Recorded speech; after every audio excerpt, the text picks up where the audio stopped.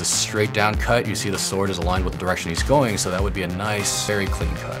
It's, it's, it's like he's a dolphin. He's swimming with the sword. Water's gonna get in there. Not only is it going to ruin and rust your blade, the inside of the sheath is also wood. It's still going to damage it. The guy's body's made of pudding. Yeah. yeah.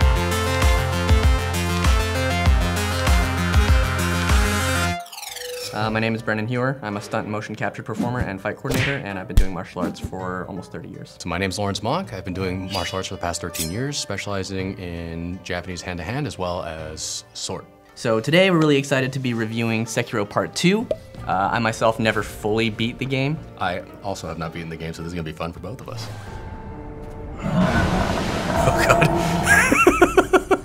So the world is very pretty. It's very stylized, obviously. You're not gonna see a lot of landscape like this in the real world, obviously. And you're definitely not gonna see giant fish coming up and destroying bridges, right? Everything in this game, obviously the, the monsters and creatures and stuff are huge, but like everything is just on such a grand scale. Right. It, like doesn't really exist in the world. Make you feel so small. But it does do a good job of setting kind of the atmosphere of the game, you know what I mean? Yeah, and the aesthetic, the Japanese aesthetic is, yeah. is so spot on without being like cheesy. As much as it has the Japanese aesthetic, you still feel like you're in a fantasy world, and obviously it's heightened by these fantastic monsters, you know? The landscape by itself, something about it just feels so fantasy, like this. The nice thing about it though is even though, you know, like we were reviewing Ghost of Tsushima earlier and that's like a beautiful environment as well, but this one is like, it's beautiful, but it's also very uh, overwhelming and scary, dark? It's darker. I'd say it's it's darker, it's less vibrant. Mm -hmm. I mean, we say that seeing this, but even so, it's less light is the best way to put it, I guess. It's such a weird walk animation though. he doesn't move his arms at all. He doesn't. I really like the torii gates. Usually when you see the torii gates, people think like the big orange ones with the black base, you know? So to see it look a little bit more natural. It's wood, but it looks almost like it's one piece, you know what I mean? Like it was formed this way, which is really yeah. cool. Yeah, he wears much less armor in this game. And to be fair with this game, the damage is very punishing in this, so the idea is you're supposed to not get hit, right? as much as humanly possible. Well, he's much more of a, of a ninja in this game. I mean, he's personal bodyguard to the lord that you're protecting, so. Plus he has a really dope ass like grappling hook. What do you like so much about grappling hooks? Nothing.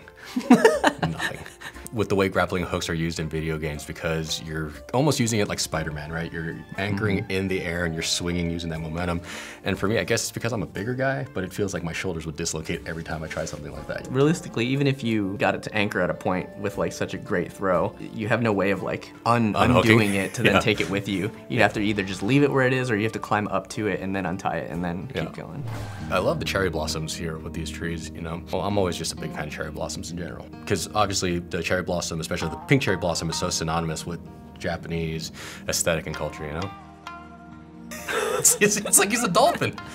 It's not very often you see koi fish as the enemy or like the harmful thing. Right. But that one definitely looks threatening. Fun fact, I can't swim as it is, so this just scares the hell out of me. Another thing about this is swimming with the sword, you know? With the sword, it's not an airtight seal. So what happens is water's gonna get in there, and not only is it going to ruin and rust your blade, the inside of the sheath is also wood. Even though it's lacquered wood, it's still going to damage it. Guy's body's made of pudding. Yeah. yeah. Just in terms of the sword war there, you see it's not a long, protracted fight. It's literally one and done. Mm -hmm. The whole idea with Kenjutsu is you want to be as efficient as you can with your sword. You're not trying to do these prolonged battles because at the end of the day, when you think of it from a general sense, you're swinging around a very weighty piece of metal and your body's not meant to do that for long periods of time without getting fatigued.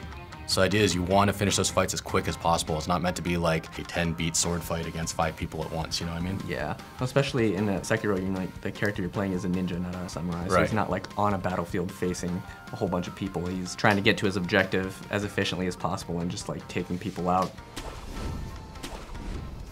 So, especially with Sekiro, obviously it's a fantastical game, right? It's meant to be fantasy. Even from a general standpoint, he's floating in the air while he's casting out the yeah. grappling hook. Bodies don't work like that. Gravity doesn't work like that, you know what I mean? Yeah, and it, and it looks like when he grapples out and like yanks, you can see the rope go slacks. It's not the grappling hook mechanism like reeling him in, he's yanking, yanking himself. So he's, he's breaking his shoulder every single time.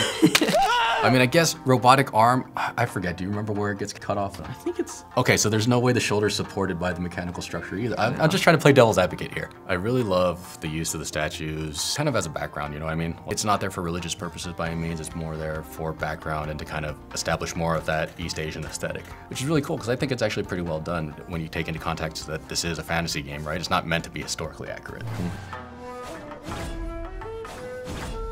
It looks cool. It's a really weird lift into the cut, but yeah, and it looks like the momentum of both of his strikes is executed towards the front. Like that's right. kind of like the apex of the swing. Anybody behind him is going to be fairly safe. One thing they really do with the animations in this game is they really kind of accentuate the stretch he does with his body, right. which looks great, but um, functionally it's not. Functionally, it, it doesn't do anything. a lot to help you. a lot of these cuts where they're generating force, they tend to use a lot of muscle.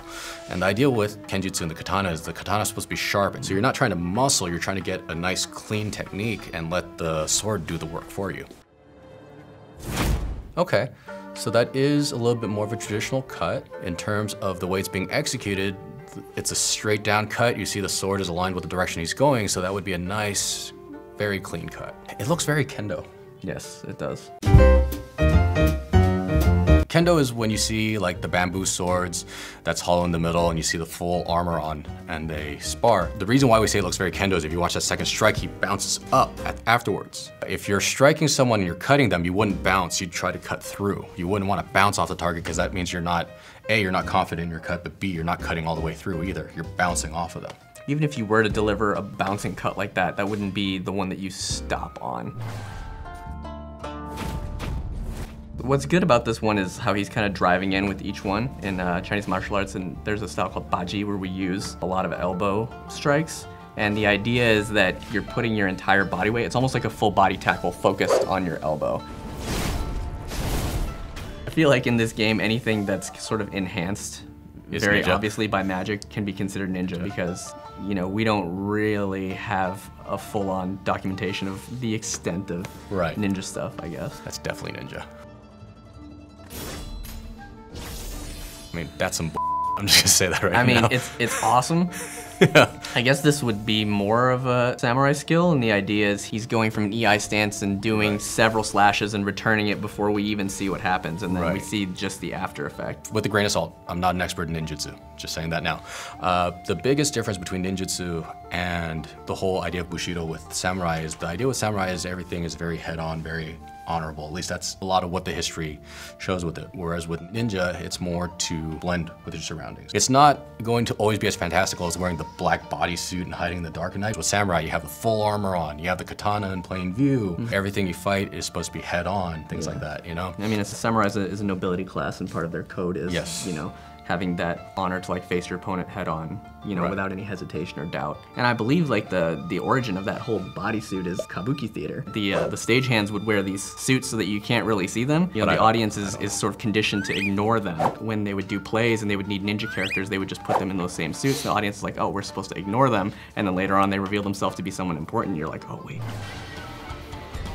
So already we know at a distance the spear is going to have the advantage, so the idea is always to try to get in. The idea about trying to get in on the attack isn't just to dodge the attack, obviously, but you're trying to close the effective distance of the weapons. If you get in close enough, yeah, they can still use the stick part of the spear to kind of hit you bluntly, but now you've mitigated a lot of the risk of the bladed side, unless they literally slide and choke up more to use it at a shorter distance. That counter that he's doing when the stab is coming in, he steps aside and tries to force the shaft of the spear down towards the ground. That's a pretty great move. And then generally when you stomp on the shaft, that would Break disarm it. your opponent, but it seems like the grip strength is just super high in this game. That is just such a big spear, it's so thick.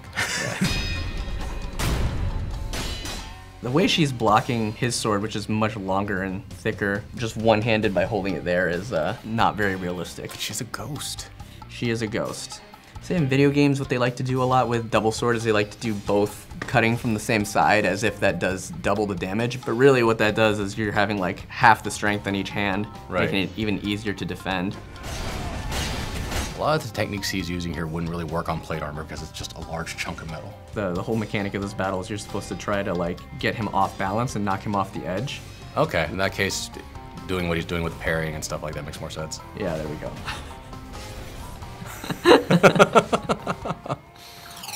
So overall, with Sekiro, for me at least, great as it looks aesthetically, as cool as it looks, a lot of the technique being used isn't what you would consider like traditional kenjutsu or, or samurai, you know what I mean? No, it's not realistic at all. I mean, as a fantasy game, it does a really cool job of like, you know, upholding its world. And mm -hmm. I do mm-hmm. like that the ninja character, you know, is shown to be adapting stuff from different styles and using all of it.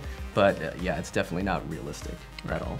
Thank you guys for joining us. If you want more videos like this, be sure to check out the Gamology Facebook page and YouTube channel. See you later. So today we're really excited to be doing, uh, sorry.